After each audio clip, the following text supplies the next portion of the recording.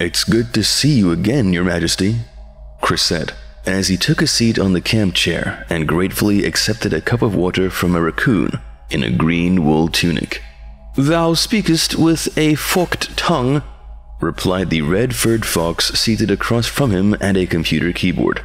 Else thou wouldst free our people from bondage at the hands of their captors. The words lingered on the computer screen across from Christopher, he wasn't sure who'd managed to set up Carolingian minuscule as the font, but it was appropriate, he admitted. Our agreement with the. with your captors only extends as far as this, Chris explained. And it was a concession hard won. These villains are truly the most ignoble of heathens, scoffed the fox. Would that we had our good sword and shield and a further two score brave knights we would show these heathens how good Christian men do battle. Nay, we would ask simply for one man, Raffaello, wisest of crows. No doubt he would have contrived some infernal machine or clever stratagem to make good our escape. But in the absence of valor and wisdom, we must instead turn to the virtue of fortitude and endure the manifold indignities heaped upon us by our villainous captors. Eugenio II, by the grace of God, King of the Forest, Lord of the Plains, Duke of the Grand Fir and the Undergrowth, Count of the Swamp, Warden of all the streams and rivers, and Lord Protector of the cities of man, Defender of the Faith, paused in his typing, tilted his regal head to one side, and scratched behind his ear, worrying at a flea that had been pestering him for some time. We continue our efforts to ransom Your Majesty and free him and his men from their captivity. Chris lied. But I have not come here to speak of such matters. Then speak, good sir. Let us know how we may be of assistance to the Chinese Empress. Christopher St. John Smith Bromstead winced inwardly. Explaining D.C. al Fine's position in the coalition to Eugenio II hadn't been easy. Second mission considerations had forbidden him from explaining the exact nature of the global occult coalition. The best he'd managed to do was to convince the Fox that he was an emissary of a foreign empress. He still wasn't sure how the Fox had drawn the conclusion that the far off kingdom he represented was China, of all places. Her Imperial Majesty faces a dilemma, Chris said through gritted teeth a dilemma which could easily be solved with the aid of thy royal self. The dilemma concerns the 13th Crusade. That was none of my doing, Eugenio II retorted, curling his tail around his red furred body. "'Twas the doing of Duke Caspar Bushtail, a knight great in courage, but not overly blessed in brains. 'Twas his decision to gather up his brethren and strike out for the Holy Land without the full might of the forest at his back, a decision he made on the basis of Your Majesty's decree. Our decree was that an army should be gathered for the purposes of taking back the Holy Land. Eugenio insisted. Not that Duke Bushtail and his kin should sally forth willy nilly like cats driven by a washerwoman. Often have we regretted this fact, for were that brave knight and his cohort by my side, we would not now be languishing in captivity.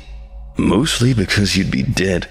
The Foundation doesn't put up with escape attempts lightly, Chris thought.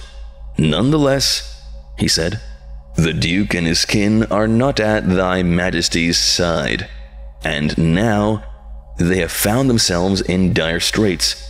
They have set up a stronghold in a distant land. If the next city over in Scotland can be considered distant, that is, and they are now besieged on all fronts. I guess that's not a bad way of saying that the Coalition and Foundation are getting ready to burn down their damned castle for scaring the out of that Girl Scout troop that found their fence made of severed rats' heads on the end of tiny little pikes. They have sworn to fight to the death I have come on behalf of the Empress to see if a way can be found to spare the lives of these brave warriors. And if I had it my way, I'd let those MTFs burn the damn castle down with flamethrowers and thermite. Damn the scary lady for trying to get me to find a soft kill solution to this bloody mess. Eugenio II, son of Eugenio the Just, regent of the granite throne, and ruler of the forests, sat down on his haunches and laid his chin dejectedly atop his forepaws.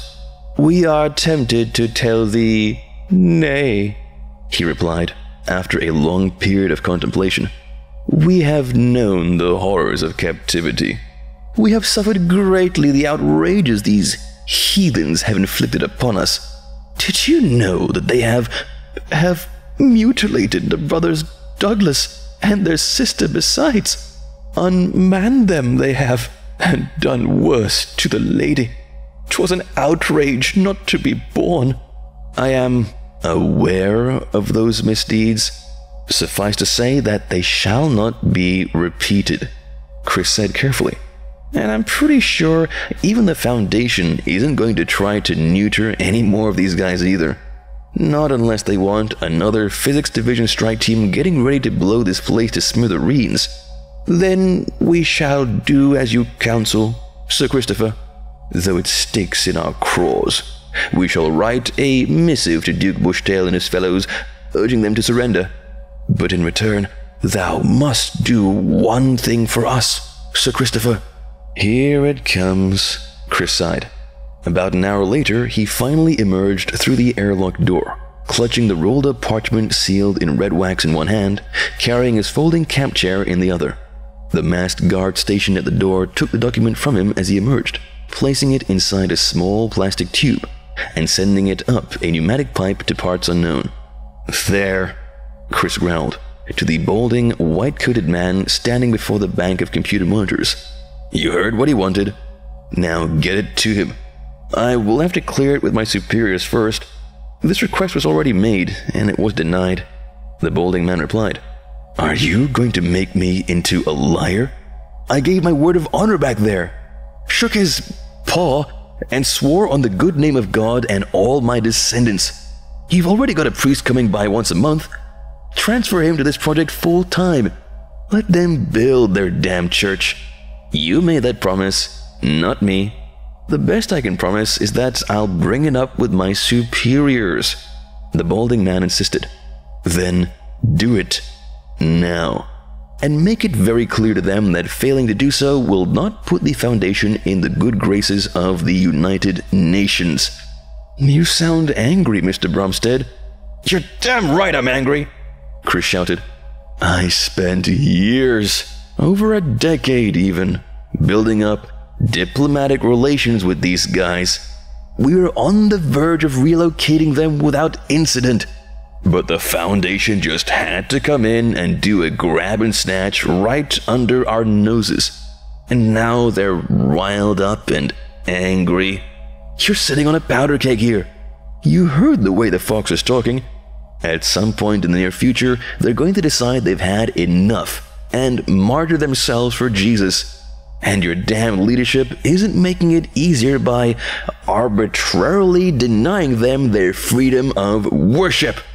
Chris stormed out of the room, ignoring the other man's loud protests and rebuttals. He was in no mood to hear any of it.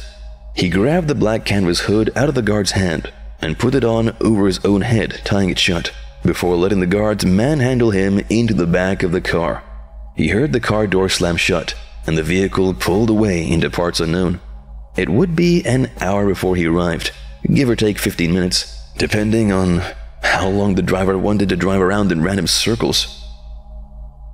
End of file. To learn more about the SCP Foundation, subscribe to SCP Orientation today and turn the notification bell on so you don't miss any of our videos.